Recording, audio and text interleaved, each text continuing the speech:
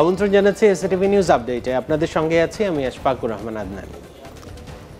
সাধারণ রোগীদের মতো দশ টাকায় টিকিট কেটে চোখ পরীক্ষা করালেন প্রধানমন্ত্রী শেখ হাসিনা। রাজধানী জাতীয় চক্ষু বিজ্ঞান ইনস্টিটিউট ও হাসপাতালে এই সেবা নেন তিনি। চোখ পরীক্ষা শেষে প্রধানমন্ত্রী জাতীয় চক্ষু বিজ্ঞান ইনস্টিটিউট ও হাসপাতাল ঘুরে দেখেন এবং এর বিভিন্ন কার্যক্রম সম্পর্কে অবহিত হন। এ সময় হাসপাতালে উপস্থিত রোগীদের সাথে কথা বলে তাদের কুশলাদি জানতে চান তিনি।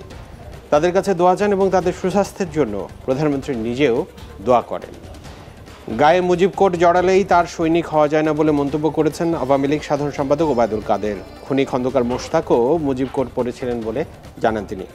নোয়াখালী শিল্পকলা একাডেমিতে পৌর সদর উপজেলা আওয়ামী লীগের ত্রিবার্ষিক সম্মেলনে ভার্চুয়ালি যুক্ত হয়ে এই মন্তব্য করেন তিনি। ওবায়দুল কাদের বলেন, সকল অপপ্রচার ও ষড়যন্ত্রের বিরুদ্ধে গঠনমূলক জবাবের মাধ্যমে কাজ করে যেতে হবে। স্বরাষ্ট্রমন্ত্রী আসাদুজ্জামান খান কামাল বলেছেন, জঙ্গি পালিয়ে যাওয়ার পেছনে আইনশৃঙ্খলা বাহিনীর গাফিলতি রয়েছে। তা খতিয়ে দেখতে কাজ করছে দুটো তদন্ত কমিটি। গাজীপুর, কাশিমপুর কেন্দ্রীয় কারাগারে ষাটতম কারারক্ষী বুনিয়াদী প্রশিক্ষণ সমাপনী অনুষ্ঠানে সাংবাদিকদের এসব কথা বলেন তিনি। কমিটির সুপারিশের আলোকে পরবর্তী ব্যবস্থা নেওয়া হবে। বিশ্ব স্বাস্থ্য সংস্থার তথ্য মতে, জলবায়ু পরিবর্তনের কারণে এবছর একাত্তর লাখেরও বেশি মানুষ বাংলাদেশি বাস্তুচ্যুত হয়েছেন, যা দু হাজার পঞ্চাশ সালের মধ্যে এক কোটি তেত্রিশ লাখে পৌঁছানোর আশঙ্কা রয়েছে। স্বাস্থ্য মন্ত্রণালয় আয়োজিত ই লার্নিং হাইব্রিড ইভেন্টে এই তথ্য তুলে ধরে ডাব্লিউএইচও আগামী তিন দিনে আবহাওয়ার সামান্য পরিবর্তন হতে পারে বলে পূর্বাভাস দিয়েছে আবহাওয়া বিভাগ। দক্ষিণ বঙ্গোপসাগরে মৌসুমের স্বাভাবিক লঘুচাপ থাকায় চট্টগ্রাম বিভাগের দু এক জায়গায় হালকা বৃষ্টি হওয়ার সম্ভাবনা রয়েছে বলেও জানায়। আবহাওয়া অফিস। আগামীকাল সকাল পর্যন্ত অস্থায়ীভাবে আংশিক মেঘলা আকাশ সহ সারা দেশের আবহাওয়া প্রধানত শুষ্কই থাকবে।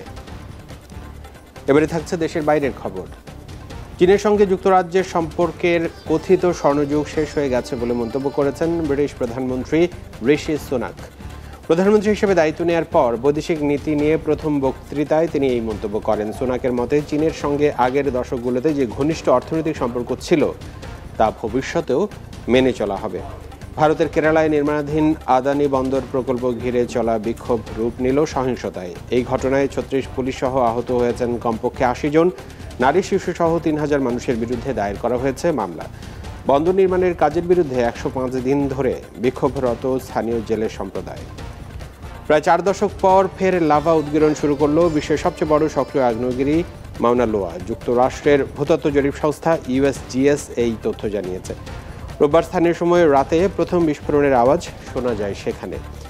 রোববার স্থানীয় সময় রাতে দু ঘণ্টার অন্তত বারো বার ভূমিকম্প অনুভূত হয় অঞ্চলটিতে। রিখটার স্কেলে এগুলোর মাত্রা ছিল দুই দশমিক পাঁচ থেকে চার দশমিক দুই পর্যন্ত।